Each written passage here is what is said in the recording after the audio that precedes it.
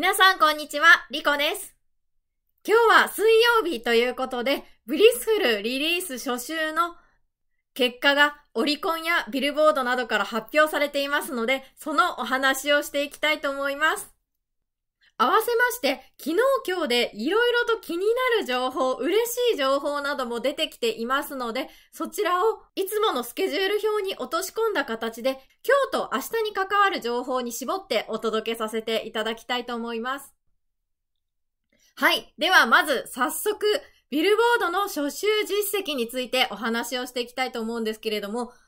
Blissful については一番下の欄に掲載しています。 Blissful ビルボード Hot 100総合順位第1位ということでおめでとうございます。総合獲得ポイントは9816ポイントだったということです。各指標についてそれぞれ詳しい数字は私が動画を撮影している時点ではまだ発表されていないんですけれども、順位だけは分かっていまして、ダウンロードが第1位、ストリーミングが第7位、そして YouTube 動画が第1位、ラジオに関しても第1位だったということです。今回はお盆という環境の中でのリリース集でしたので、いつもと違う環境だった方もたくさんいらっしゃった中で、総合順位第1位を獲得できたというのは、本当に素晴らしい結果だったなというふうに思います。そしてなんといってもこの Blissful はご存知の通りアルバム 2:BE のリード曲ということですので、アルバムのリリースは来週ということなので、いわば今週までは前哨戦という風に捉えることもできるかと思いますので、また来週のアルバムリリースに向けて、この Blissful 盛り上げていきたいなという風に思っています。ちなみにせっかく一覧表を出しているので、過去のデータと少し比較してみると、今回はアルバムのリード曲ということで、状況的には、やはり一番スクリームが似ているかなと思います。スクリームは上から4番目に記載しておりますが、総合順位第1位、1692ポイントを獲得しています。スクリームのダウンロードは第1位、15,304ダウンロード。ストリーミングが第2位で829万751回。そして動画の再生について第1位で501万5160回という風になっています。今回の Blissful のデータについては、また後ほど細かく詳細も発表されると思いますけれども、まずダウンロードについては、先読みの時点ですでに17,593でしたので、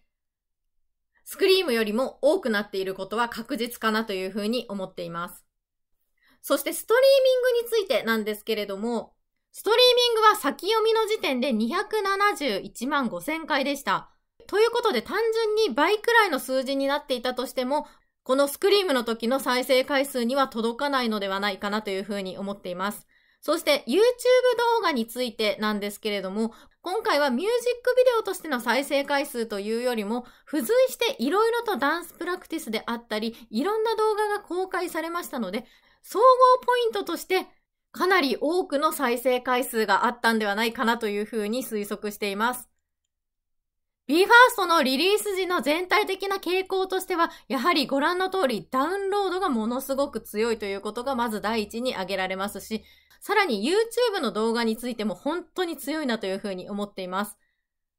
ストリーミングについては、順位もそうですし、あとは再生回数自体も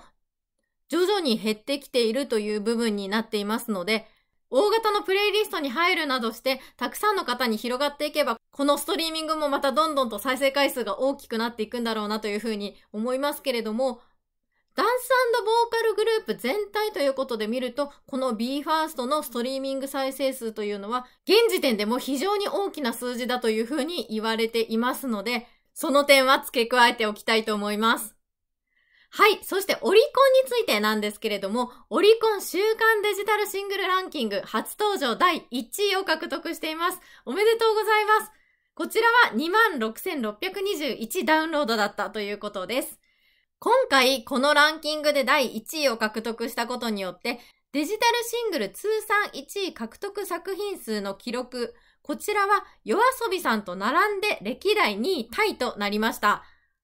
以前から歴代2位タイだったんじゃないかなと思われた方もいらっしゃると思いますけれども、実は BE:FIRST が Blissful をリリースするまでの間に、 YOASOBI さんが新曲をリリースされたことによって、先日まで第1位が米津玄師さんの15作、そして YOASOBI さんの14作、BE:FIRST が13作ということで、一度 YOASOBI さんに抜かれていたんですけれども、そこが Blissful で第1位を取ったことによって、また第2位に並んで YOASOBI さんと同率になっています。そしてオリコンでの週間ストリーミングランキングなんですけれども、こちらはですね、 Blissful 第3位につけています。再生回数は828万9595回だったということです。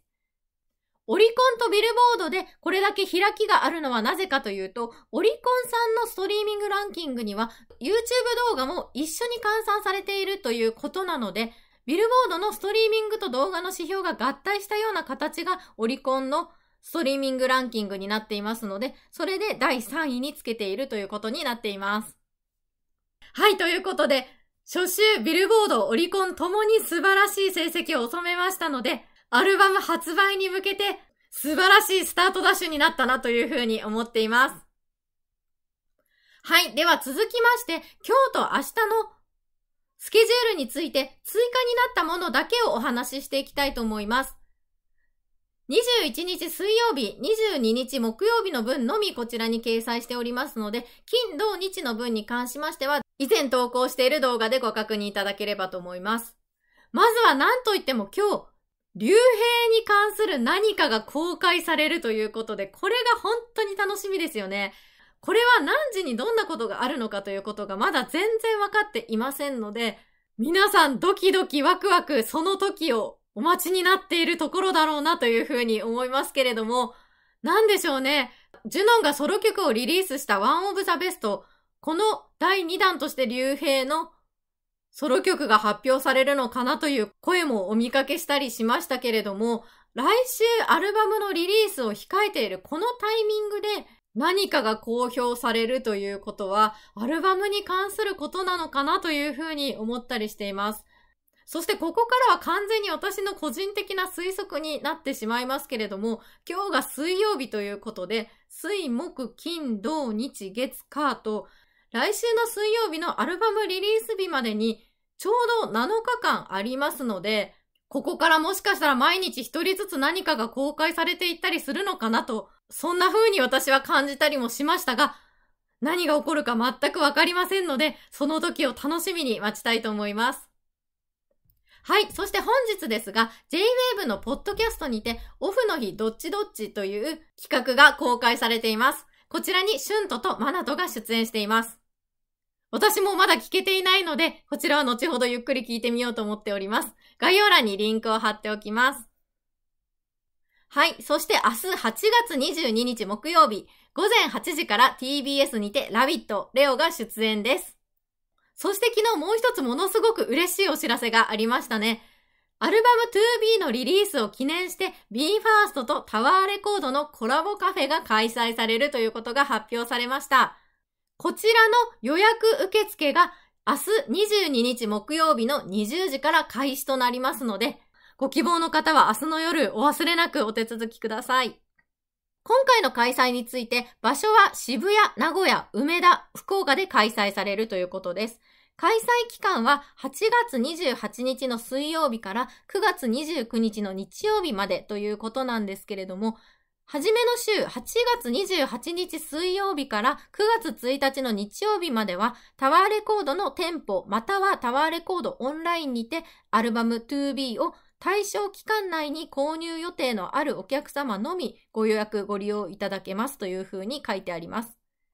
9月2日月曜日から29日の日曜日まではアルバム 2B の購入の有無に関わらずどなたでもご自由にコラボカフェのご予約ご利用が可能ですということですので、その点だけご注意いただいて、22日木曜日の20時から受付開始となりますので、お忘れなくお手続きください。